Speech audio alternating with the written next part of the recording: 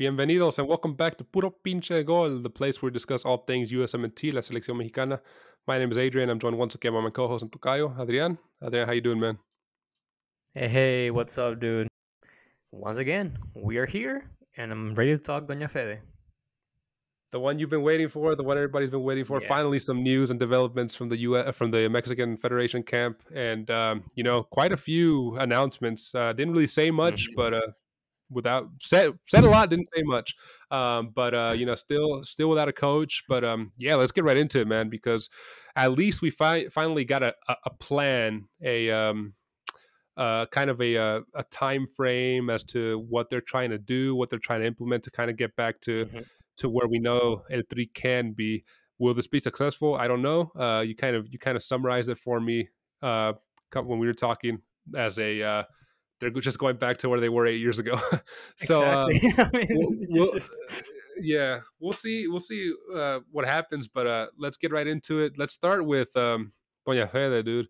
What can you tell us Let's about the you know changing in the structure of the Federación? Uh, what will it have impacts on? Uh, yeah, what can you tell us about that? Sure. So, just to give more, uh, you know, uh, context to our PPG family out there uh, who are not familiar with this, uh, it, around eight years ago, uh, Doña Fede decided that it was in the best interest for for El Tri and uh, La Federación to essentially get rid of the sporting director position and make a bunch of changes in the national uh, team uh, organization chart, right? And essentially also forcing like a move out of uh, South American uh, tournaments and you know so on and so forth. Things that ended up being uh, a huge disaster for Mexico on, in the most res- recent uh, World Cup. So based on that, the first thing that you know they came out and said was, "We're bringing back the sporting director role." So you know they they announced it as is. This is the huge the the, mo- the hugest innovation that we've done in you know in a while in in Mexican football. Right? It's, it's just like, dude. All right. If, if I can summarize things in, in one sentence, is dime que te, que te equivocaste sin decirme que te equivocaste. So this is this is essentially one of the biggest changes. So they're bringing back that um, they, they, they eight years ago they decided that the president, Doña Fede president, was capable of handling both the sporting and the business side of things. Right. Now now they're going they're going back to what uh, what used to be the the regular organizational chart chart. Now they have a Doña Fede president for business affairs and a Doña Fede sporting director for anything that has to do with national teams, both um, male and female. Um, on top of that, they also are claiming that they're going to increase by 40% uh, the budget for uh, homegrown players to start, you know, developing talent. Whatever that 40% means, I don't know if it's coming out of, you know, the annual budget, if it's coming out of the uh, some uh, sorry, well, I guess some SMU matches in, in the states. How much money is that? We don't know. It's just forty percent. It sounds cool. It sounds dandy. It sounds something. Let's go with it, right? And uh, lastly, they also devised and showed a plan for 2026, where they're aiming to have better competition uh, during those years. They're trying to get into uh, South American tournaments and also uh, participate on or, or I guess make changes on CONCACAF FIFA uh, approved tournaments so they can be more competitive by including you know different countries throughout this World Cup cycle because as you know Mexico and the USMNT are not necessarily uh, playing for qualification because they are hosting the next World Cup. So it's it's important that they have some sort of um, uh, I guess uh, plan as to how they're going to prep for that tournament, right? Right. Um, I guess I, was, I, before you keep going, a point I kind of that forty percent that they want to kind of implement that we don't know where it's going to come from into you know youth Mhm. development. Um, it'll be interesting to see where it's actually implemented in. Is it going to be implemented into like grassroots, uh, just uh, you know, street football, not street, but uh, like Sunday, you know, kid football, youth football? Is it going to be implemented into Liga MX uh, youth teams? Is it going to be implemented? And if it's implemented into Liga MX youth teams, how are they going to distribute that? Are the bigger teams going to get more? Are the little smaller teams going to get more? It's going to be interesting to see. Um, yeah, and uh, interesting to see if it's you know if it if it makes a difference long term um, because you know we used to be so uh, excited to see the youth players because they used to do well. They used to qualify to all the Olympics. They used to win the Olympics. They used mm-hmm. to qualify to the U17 World Cup, U20 World Cup, win those tournaments. And it's been a while since you know one they've kind of qualified, and two since they've actually you know performed well at those tournaments. So. Uh, yeah, it'll be interesting to see. And uh, like you said, you know, USA and Mexico don't have to qualify. So uh, the Gold Cup, I think they're expanding it to 16 teams now, and six of them are going to be CONMEBOL teams and 10 CONCACAF teams. So it's going to be um, interesting to see those changes and how. I think ultimately the federations are probably going to end up uh, merging. It's kind of looks like it, what it's going towards now with Copa America being here yeah. 2024, Gold Cup including six CONMEBOL teams. Mm. Um, they might end up merging eventually, but uh, we'll see. Um, so what like you mentioned, they're they're going to be focusing on more uh, playing higher quality players. Uh, they have a friendly against Germany scheduled for October of this year, which is a mm-hmm. plus. Mm. Um, they they normally you know would normally play Suriname or teams Salvador. Yeah. Uh, so these these teams that they'll be playing, yeah, will be it'll be interesting to see. I don't know if they announced it today. Maybe you you have clarification if, where it's going to be held. Is it going to be in Mexico? Is it going to be in the states? Is it going to be in Germany? I don't know. Um, I, I, don't know yet. I, I assume it's gonna be in the states. Um, just because uh, how packed the European nations have uh, their schedule in terms of nations leagues and, and, other competitions that I feel it has to be you know a non FIFA official game. Mm-hmm. Um, mm Otherwise, I don't know how they're gonna make it work. Uh, but you know that's I guess interesting. We'll see. Uh, hopefully, they get more uh, challenges like these in, in the future instead of you know Jamaica or something like that. Um, Righty. I do. I, yeah, exactly. And I, I, one thing that I forgot on you know the structure of Doña Fede, they also made this committee of uh, national teams or Comité de la Selección Mexicana, and this includes five owners or presidents of La Liga MX teams, which include Emilio Azcárraga from Televisa and America, uh, Amaury Vergara from Chivas, uh, Jorge Hank from Xolos and Querétaro, uh, Eduardo Tinajero from Necaxa, and uh, Irarrágorri from, from Llantos and Atlas. So they are the guys who are they, they they want well i guess they, they will be in charge of making the decision on who is going to be the next coach. Um and uh but they're not the ones who are looking for it because that's the uh, sporting director's job, who right. is Ares de Purga. Sorry, Ares de Parga. Um, who, by the way, he, uh, you know, they, they made this huge fuss about bringing in a sporting director who understands the sport and was not necessarily was a player, but has some sort of like understanding at a very, you know, uh, a very detailed and depth and uh, I guess uh, very well understanding, good understanding of what the sport is about. Um, mm-hmm. And they yet, yet they go with this guy with Ares de Parga, who by the way he sucked as a Pumas, he sucked as a Querétaro. So I wonder why they just went with it. You know, there's a there's a saying in Mexico that goes, uh, or I guess in, in, in I guess in the I guess in the, in the mafia, right? That you you tend to go with those who are loyal rather than the ones that are uh, smart. So mm-hmm. I think this is one of those you know choices that they're going with someone who's going to be loyal to uh, Emilio Azcárraga, to Amaury Vergara, to Irarrágorri, um, and I don't know, man. I mean, it's uh, we see changes and then we see these kind of decisions, and I'm like, pan con lo mismo. Yeah, two steps Nothing's forward, one step backwards. Yeah. Exactly. It's like, yeah, we ain't going nowhere, dude. Yeah, um, I don't know. So they, the second part of the announcement today was focus on Liga MX, um, mm-hmm. a, quote unquote, a lot and not so many changes. Um, can you summarize for us the main the main points here that were discussed for Liga MX?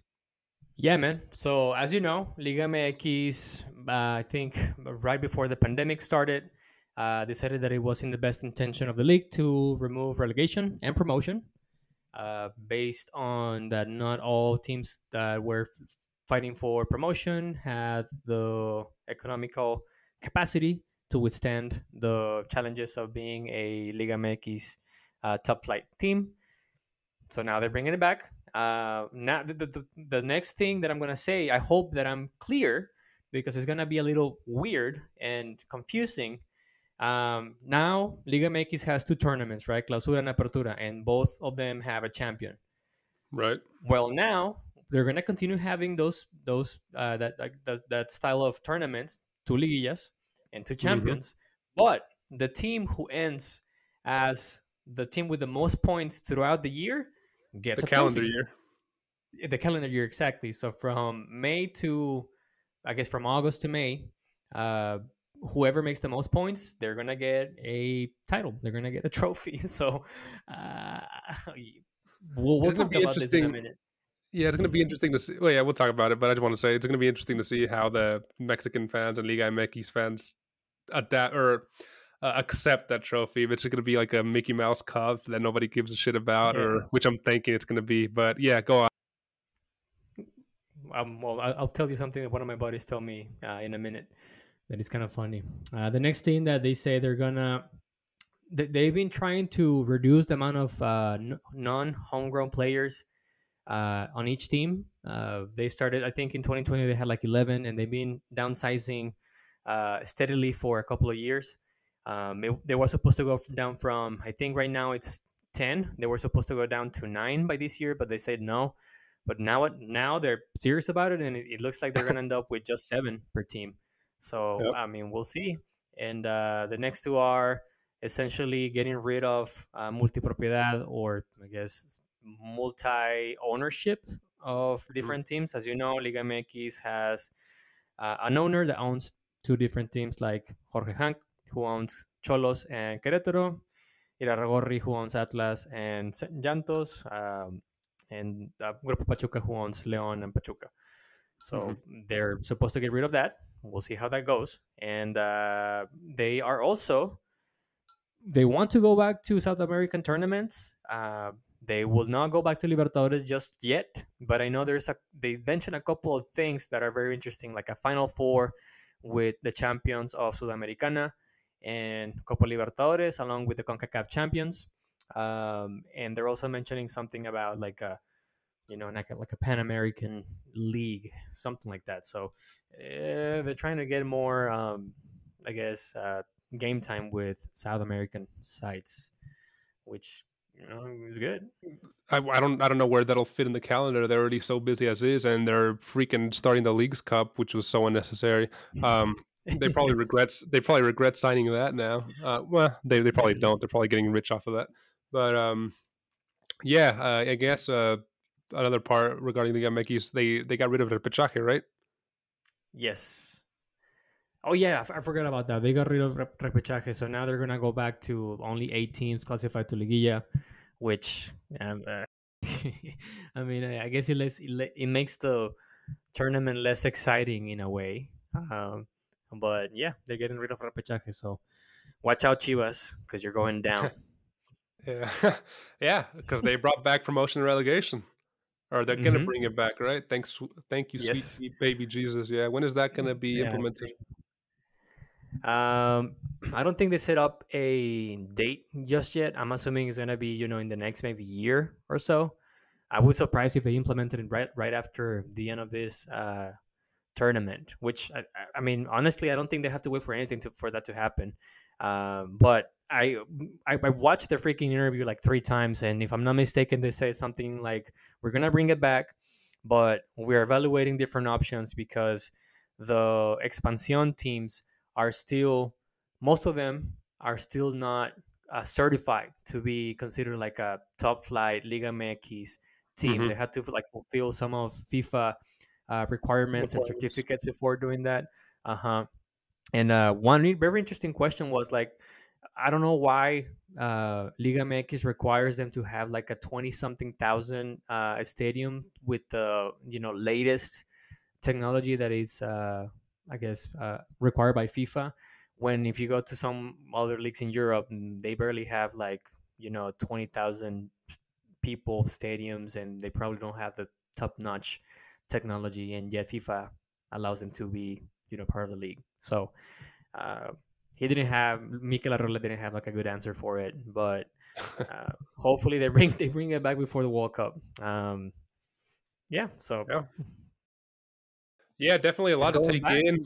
Yeah, mm-hmm. literally going back to where we were before COVID and a couple of years before that. Um, I don't get the torle- the torneo largo thing. Um, I think it's just a um, I don't know. I really I the, is the winner of that long whoever has the most points at the end of the two tournaments is the winner of that get a CONCACAF uh, qualification. What what is the prize? Just a plastic trophy? I, I, I, don't know. I don't I don't see the point behind that. Um, what what what did your buddy say about that? yeah, so uh, in in there's a there's like a running gag in Monterrey where uh, we dis we dis disaccredit uh, the championships of the opposite side, right? If so, you go for Tigres, you uh, essentially uh, disregard the championship of Monterrey and vice versa. So we right. have this thing that this meme that uh, goes like "No vale si vale." So my buddy was like, "You know what, man? Just just right now, go ahead and tell me which ones uh, valen and which ones no valen." So so you get it straight from the get go. exactly. So I was like, "Look, man, los que valen son los que ganan los Tigres. Period." right. There's nothing to it, but I, uh. I don't know, man. I, I I'm not too sure. Do you think this is unnecessary? Like having that that trophy is is this like a to me? It's like a it's like a consolation prize. We know that you sucked during you know round robin tournaments, but here's you know some candy for you. You know the MLS does that. They it's called the supporter really? shield. Uh huh. The team that Get has the most here, points. Man. Yeah, the supporter shield. Um, nobody takes it seriously as far as I know, and um, it, yeah, it's going to be the same in Mexico. I feel like who's going to give a shit about that? It you know it only care no in Mexico you don't even care about the um what is it the you know they have the game between the winner of the clausura and the winner of la apertura. Yeah. Nobody nobody mm-hmm. gives a shit about that either. You know they just care about the the torneos cortos. Um, so uh-huh. this is just another another little trophy grab. Um, you know, I, I don't, uh, there's no money to be involved in this either. There's no game. There's no, I don't know why this is a thing. And anything, if anything, they're going to lose money because they got rid of repechaje. Um, I, I yeah, see why they got rid of it, trying to uh, make it more competitive, right? They want the best eight teams to qualify. They don't want a team that was 12 to qualify. Uh, but yeah, there's less games now. It's going to be less exciting, and less competitive. But uh, I mean, we'll see. Maybe promotion relegation adds to that. But uh, going to be interesting to see when that gets one, um, one thing that I go, sorry, go ahead. Uh, now, uh, I was just gonna say uh, they also mention and emphasize a lot of uh, young talent, young Mexican talent, how they want to focus on facilitating the young Mexican talent to come up through the ranks of the Liga MX teams and find a way mm-hmm. to transfer to Europe. Um, I, I, just find it really interesting. Are Mexican teams really going to change? You know, are they going to stop overinflating the Mexican player and yeah. pri- thus thus pricing out European uh, bidders? Um, I don't know. It's going to be interesting to see what that entails. The uh, we're going to help our young, our young guys move to Europe. I I don't see how that's going to be implemented, but it'll be interesting to see. Right in the money. That's something that I wanted to discuss. Uh, one of the interesting things that they said, Mikel Arriola was talking about. Well, one of the biggest difference between MLS and Liga MX is that MLS uh, has very uh, close ties with some of the European leagues, and they help players to get a dual citizenship whenever wherever they can. So Mikel Arriola was like, we have to establish a network with European uh, leagues so we can facilitate uh, a Spanish passport to those Mexicans that can qualify for that and see how can we expedite that. And they, they were also mentioning something very interesting as to, um, I think big teams in Mexico are not going to change their model. They're, they're still going to, you know, be pushing for uh, the best talent in Mexico that is available. But Mikel Arriola was mentioning something that I found interesting, and uh, I hope that he, uh, you know, commits to it, is that the focus on developing younger talent and helping them out to go to Europe is a way to convince. Uh, it, it's a way to mitigate the the risk of, you know, uh, of of of continuing having La Liga MX with a dominant uh, number of foreign players, like Spain, like England, where mm-hmm. most of the yeah, like you know, you have Real Madrid who plays with almost no Spaniards, they uh, week in and week out, right. yet they have a strong um, national team, right? So the purpose is mm-hmm. let's see if we can facilitate the the uh, I guess exporting Mexican players to to Europe. So or to uh, other leagues. It doesn't have to be Europe. They, they he was also mentioning something like let's see if we can send them to Asia. Let's see if we can send them to, uh, I mean, hell, the MLS, South America, somewhere else.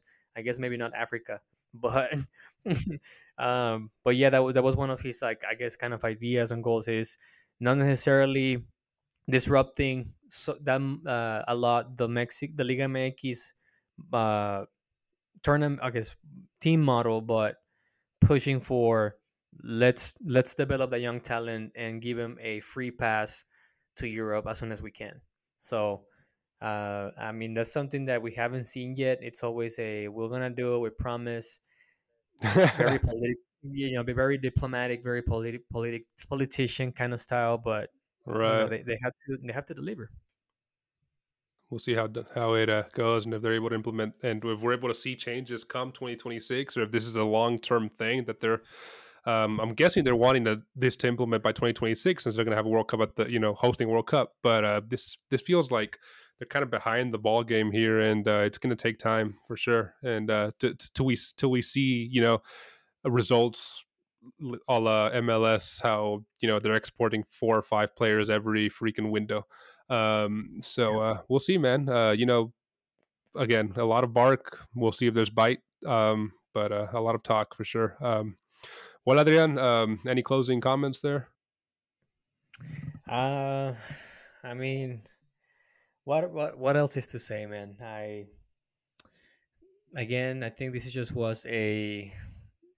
I'm glad that they realized they made a mistake.